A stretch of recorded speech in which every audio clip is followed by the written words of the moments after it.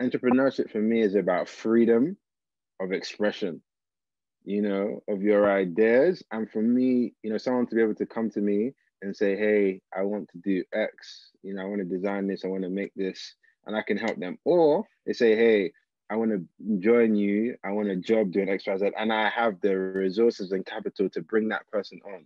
So all the people from my community that want an opportunity through entrepreneurship, now I can actually give them an opportunity or at least help them to get it.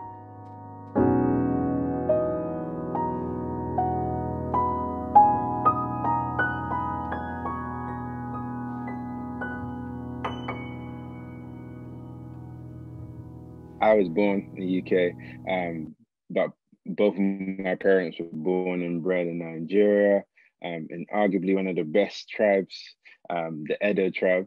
Um, obviously, that's arguable, but yeah, um, I've been there twice, um, and the experiences of kind of going there and seeing people hustling from a very young age, and the perseverance and being resourceful um, ultimately helped to mold me into the person I am today. Um, so I grew up in South London myself, um, in Peckham, again, arguably one of the, the best areas. Um, and I went to a state school called Kingsdale Foundation School, which was in Dulwich, right by a private school actually. And I feel um, that always gave me that inner drive that I think I could beat these guys. You know what I mean? If I really go for it, I was competing with myself, but I thought like I could be on a similar level, even though I wasn't, I didn't have all the social capital. Um, so I kind of went from that point um, around year nine. I had a transition um, where my brother um, Kenny um, went and was in prison for murder and a few other charges. Um, and at that time, I had to make a decision. What what am I going to do with my life? My mom didn't come to the UK um, just for vibes. You know what I mean? She came to make a a living, make a difference, leave a legacy. And I felt that it was now my time to step up.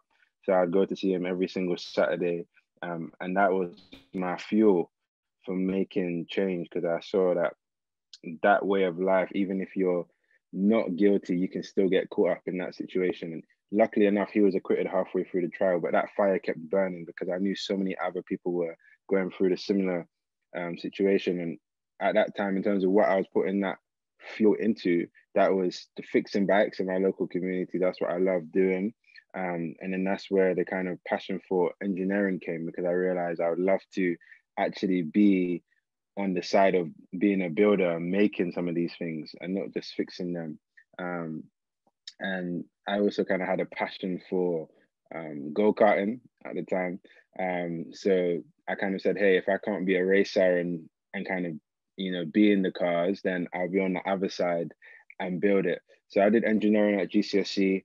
I knew I wanted to do engineering at university. So long story short, I did all the sciences um, and maths at A levels. Um, and then I went to UCL to study mechanical engineering with programming, like yourself at UCL. Um, and then now I'm 24, my birthday just gone, um, and you know just worked in corporate spaces for just over six years, I guess, as a technologist, engineer. Um, that's what I am at heart. Um, but I've also explored consulting, banking, in kind of the UK and in the US, like yourself, um, at companies like Google, Rolls Royce, um, JP Morgan, BCG. So I've just loved kind of building stuff. And I thought going to those companies would help give me some of best practice whilst I was building Motivez, which was founded in 2015. Um, so that was just before I got to UCL.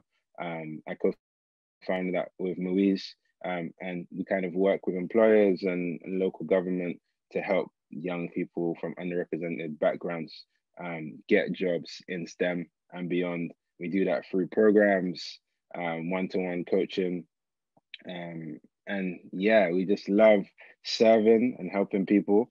and you know, when I got the call to kind of join Lewis Hamilton um, on the board, it just made sense to do that at a larger scale. Um, and then now I also kind of do that as like a trailblazer myself, just through motorsport with the X44 team.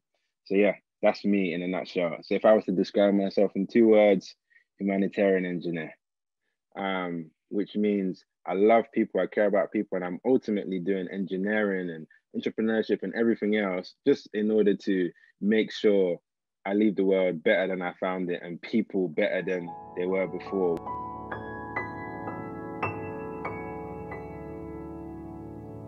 How peer pressure, the, the role of peer pressure and and the sort of culture at your school may mm. have hampered you from from forging your own path and and um, you know and dreaming big. You know what, what, what kind of what, what what did you do to overcome those sorts of challenges? There was a lot of forces um, against me. You know teachers being one of the forces. Some of them were bad vibes um, not not all of them believe in you um, especially in like a in like a state school, um, where they haven't seen people excel that much, and they're going based on the prediction of the past, um, and have people have kind of come from the past, which I I understand, but you can't base the future on on the past every single time. There's going to be anomalies that come through each and every time. You just can't call it. Um, so for me, in terms of peer pressure, it wasn't that wasn't too big for me within school. Um, I didn't have it was mostly outside school. Um, in terms of being, you know, I was around drug abuse, alcohol abuse, people doing all sorts, you know what I mean, around me. So it was more like, hey, do you go and get that quick money or do you go for the long term approach of academia, which I had not seen anyone do um, successfully? Um, I was the first of my friendship group to go to university. I say the first, I'm the first and only um, to go to university. So you kind of get some context of it wasn't really a route that people aspired to go down. Um, so for me, kind of at university, it was choosing, I mean, at school at the time, it was choosing between do I want to go through this long journey of doing my GCSEs, my A levels, university, and hopefully getting a job or creating a job or something like that. I didn't know what I wanted to do at the time. Um, that's so opaque, or do I go for something that's very clear, very tangible now? Um, and I decided to go and risk it, in my view. Um, and yeah, just say, let me try this education thing, especially when Kenny went to prison, because I was like, man, it's a it's a losing game if I am kind of going to go down that route because I don't know how it's going to turn out. Um, but I need to try something different. And that was kind of my perspective. So I'd say peer pressure was more like, which side do you decide you want to be on? Um, and I just said I wanted to be on the right side of history um, and at least try something. Um, and if it didn't work, fine. But at least I know I tried. Um, and what motivated me the most was I knew I could get something called the Southwark Scholarship, um, which would pay my whole tuition with 36k, and if someone's going to give you 36,000 to go somewhere, uh, I think that's worth it. it. It made sense. The numbers added up. You know what I mean? So I had something tangible to chase, even though it was a few years ahead. Um, it made sense for me to go for it, and successfully, I, I got that.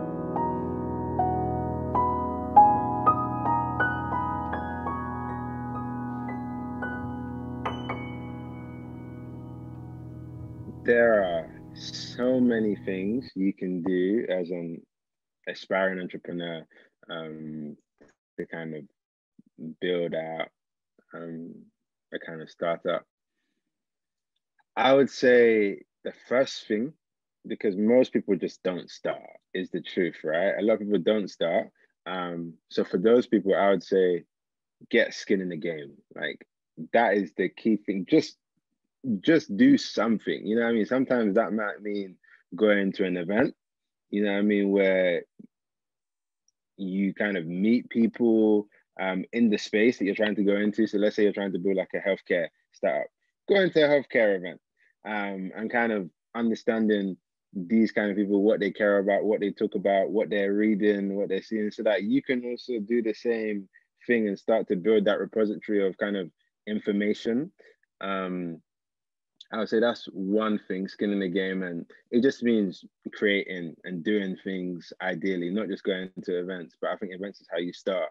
Um, but you take it from events to once you get information, Um, you take it and you make some action. Whether that's a newsletter, you just start with the smallest thing. You know, the there's a whole concept um, of the lean startup and uh, minimal viable products and and stuff like that, which you can just learn from reading the book by Eric Ries on the lean startup.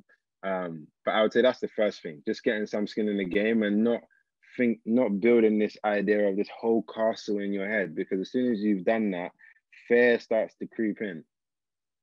Um, and once fear starts to creep in, which is not real, it doesn't, it's just in your head, your brain's just trying to protect you because it's just, it's not designed to help you be successful. It's designed to keep you safe. Um, once you've built up this crazy blueprint of what you think things should be like, um, it just becomes harder to achieve. So I would say for most products, you can just go out there and test the smallest thing. And if it's not crappy, once you kind of release it, um, you know, whether it's a newsletter or whatnot, you've done something kind of wrong. Like there should be some errors of it. Shouldn't be perfect unless you wasted time and you should have just got some feedback and, and come back. And you can do that in a closed loop. You don't have to share it with the world. You just need to have like 10 people or whatnot that you trust for feedback and maybe some anonymous people as well. Um, so I say that's the first thing, getting some skin in the game. Um, another thing I would say is the importance of research. So a lot of people just don't do their research at all. Um, we definitely didn't. I was I was completely guilty of that. Um, because a lot of times things have been done before you. Um, you're not the first to build out that solution. Someone else has done it in some way, shape, or form or another. And it's only through researching and seeing what is currently out there that you can develop your niche of what you want to focus on. It took Motivez years to figure out what should we be focusing on. We started off with using events as a vehicle, um, and now we're all the way to STEM being our niche. You know what I mean? But it took trial and error. That's why I say skin in the game because we couldn't have known that in the beginning. So you're never going to have your solution in the beginning. Your first product is going to be crap. Um, so that's why you just have to get some skin in the game um, and continue researching so that you can develop your niche or whatever that should be because you can't help everyone as much as you want to um, initially you want to save everyone and do everything with everyone. You can't. Um, and it's much better that you find a particular target customer, a user persona, and support, add as much value to them as possible. Even if it's 10 people, 20 people, um, you'll get a loyal tribe that will then share that kind of product or service with other people. Um, and you'll just grow organically from there. Um, and then it's a case of marketing and, and all of that. Maybe I can kind of give six things which lead on from like the last question, kind of. Um, so I'd say the first is watch, study, and like in a study your market and find your like find an ideal target. Right, that's the first thing. Um, the second thing is focus on your speed to the market. Right now, it's not just necessarily um, big companies taking out the small companies. It's more more like who can do things the fastest. As you can see, Clubhouse, they got like they went in, and then there's so many other big companies coming in. But if they can continue to do things fast, maybe they might win and build more trust. Um, the third thing I would say is people don't buy like your product; they buy your kind of stories. So that's why empathy is important because you need to be able to communicate with their emotions and win their hearts and minds. You can't just win their minds. People make emotional decisions when they're buying things or you know whatever it may be. Um, the fourth thing I would say is like money follows attention. Um, so get the attention by being an original. Be you. Like I still keep my bed, even though the company say clean shaven. I still, I'm just me. Keep the attention. Keep posting on LinkedIn when you have a milestone or you're documenting your journey, whatever it is. Stay visible. Um, and then I would say, yeah, it kind of links to the next point, which is use your gift to like create content, whether that's a podcast, um, video, writing, um, and just do it as frequently as possible and find ways to multiply that attention. Um, whether you dice up into shorter I like Instagram stories, so I just put everything out like that. Um, but even me, I'm thinking about better and newer ways of, of kind of doing that. Um, and the reason for that is your customer needs to hear your message. Um, and they say at least seven times before they'll take action to buy your product or your service. That's seven times. So you have to you have to be posting and getting to them every week if you can, um, whatever the content may be, however dense. And I think last but not least, um, which hopefully should put people at ease, and definitely what we did with Motivez and everything else is copy until you become. Look at your established competitors, the people that are innovating in the market and have much more money than you have. Um, ask questions, as I said, about the food and everything else, and don't let your pride kind of hinder you. Um, and yeah, I kind of think the bonus is like just be resourceful. Um, so what are you doing with the resources that you currently have around you? Um, because you have everything you need in order to get to that next step. Um, and I know that because I grew up on the couch um, doing my GCSEs, um, never had a bed, and I still managed to make so much happen. Um, so I think entrepreneurship, if you don't give up and you persevere, it's, possible to make something of it. What made you dare to dream? I prepared for the worst case, um, but like um, I think as you kind of do that, um, the reason why I prepare for the worst case is because it can happen. Um, but a lot of times when you prepare for, and you think about the worst case, you're consumed with fear, and sometimes you sabotage yourself with fear. And as I said before, your brain's hardwired to keep you safe. It's not for success, um, even though it's not real. Um, and how do you get over it? I think you get over it by dreaming about what you can be if it does happen. Um, so that's what helped me dare to dream, thinking about what I can be, um, what things could look like if I if I went for it, if I went for this humanitarian dream of changing the world, um, you know what I mean, through products and services and improving people's quality of life, like across the world. Maybe it can happen. Um, and it's only people that dare to dream that really go and make it big.